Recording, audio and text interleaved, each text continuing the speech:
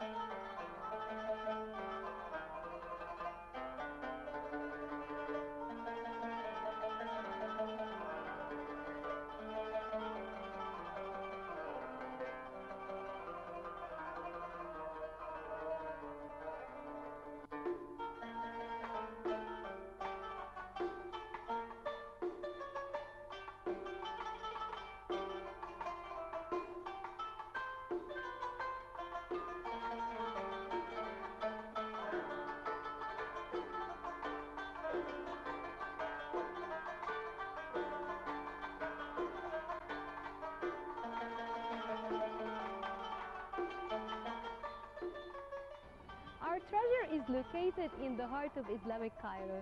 Actually, we're coming to you from the street of Al Lidinillah. And our treasure of today is the 14th century AD mosque and madrasa of the Sultan Al-Zahir Barqoq. Actually, he was the founder of a new family. He was the founder of the Burji Mamluks.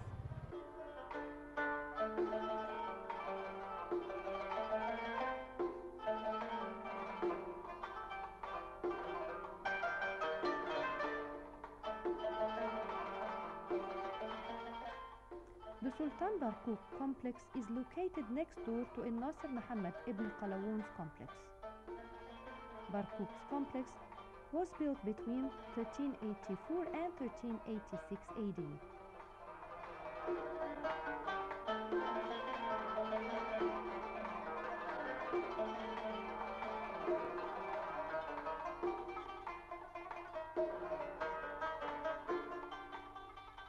The architect Shihab al-Din Ahmad ibn Muhammad al-Tuluni, who belonged to a family of court architects and surveyors, was in charge of part of the construction.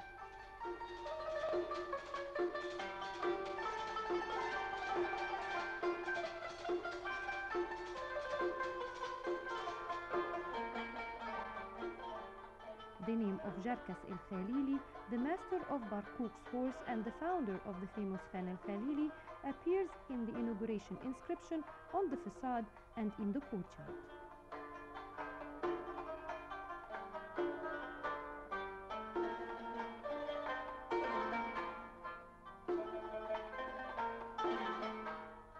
Sultan Barqoq was of Circassian origin, recruited under the Turkish Bahari Mamluks. The Circassians were subjects of the Tartar Golden Horde and were first imported to Egypt as slave troops by Qalawun in the 13th century. After being freed in 1363 AD, Barqoq established his dominance in the Mamluk government in 1382 AD.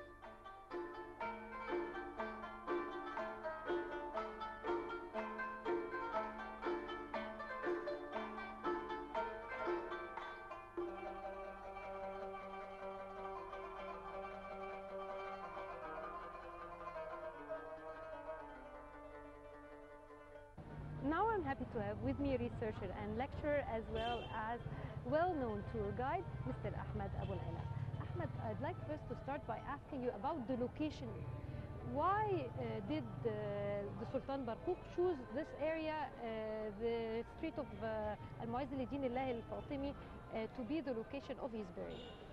First of all, the Great Street is the main street in central Cairo and medieval Cairo. So most of the Mamluk sultans were keen to acquire pieces of lands that remaining from the Fatimid palaces and gardens Mhm. that used to cover the whole area here. Mhm. So right here we are standing behind the palace of the Fatimid Sultan. So this area used to be gardens, Mhm. but the gardens and the cemeteries of the Fatimid broken into smaller lots. Mhm. And during the Mamluk period, sultans and emirs were keen to buy lands in this area. And that's how the Great Street turned during the Ayyubite period and the Mamluk period into small lots on both sides of the road. Mhm. And that's how we ended up with number of Mamluk lands Mhm. One generation after another, building on the roadside. Started with Kalawun, Mhm. then Al Nasir Muhammad, son of Kalawun, Mhm. then Barkuk later on, Mhm. 1382, bought this piece of land Mhm. and started the construction of his great complex, which mosque, madrasa, and a tomb for the Sultan and his family.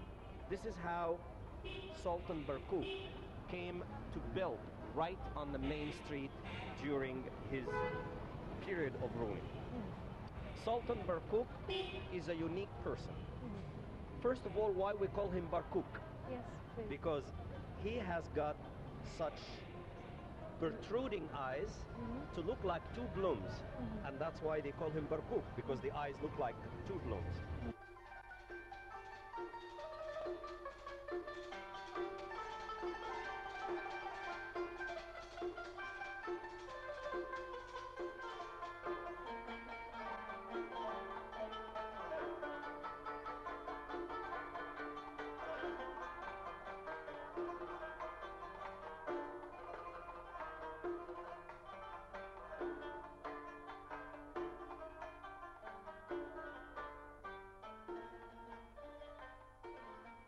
Sultan Barkuk never born in Egypt. Mhm. He was born in 1340. Mhm. Came to Egypt to join the army of the Mamelukes Mhm. around the age of 20. Mhm. Served as a military Mameluk Mhm. captain, then was escalated in the army till he became like a general. Around 1380, Mhm. something happened in Egypt. The end of Sultan Kalawun family Mhm. came to the time of someone called Sultan Shaban Ali, Mhm. who died suddenly, leave behind his little baby. He Mhm. was only six years old. Mhm. His name is Ali. Mhm. Little six years old Ali happened to be the Sultan of Egypt, the end of the Kalawun family. The two generals and the big emirs in his army happened to be the guardian of the throne. So Barkuk was one of the two guardians of the throne of little Ali. But after one year, the boy was too helpless, too powerless. And everybody elected Barkuk to be the Sultan.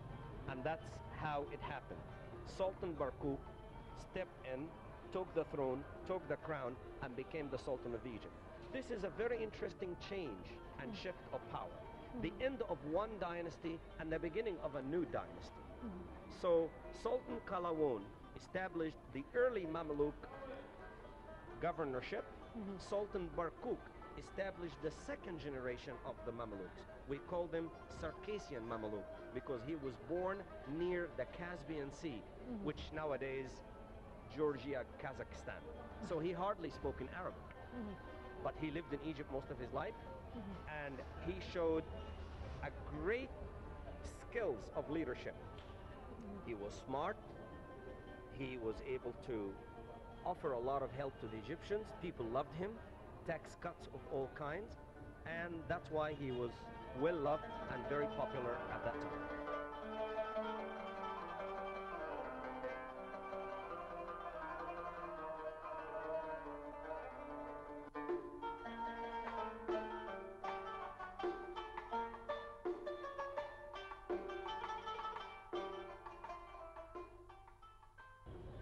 After a few years ruling, there is a military coup against Barkuk himself from inside. And other emirs and generals decided to get rid of him. And that's why he escaped. He was exiled for one year in the famous fort in South Jordan Desert the fort of Krak, where he was imprisoned for one year. During this one year, other sultans were in power. Then his fans and friends and emirs traveled all the way to the desert of Jordan, brought him back to Egypt, and reinstated him one more time. So when we talk about Barkuk, we talk about the first period of Barkuk, the second period of Barkuk. The construction of this great complex never started until the second period of Barkuk. Yeah. This construction Yes. started in 1382, 1383. Mm-hmm. Mm-hmm.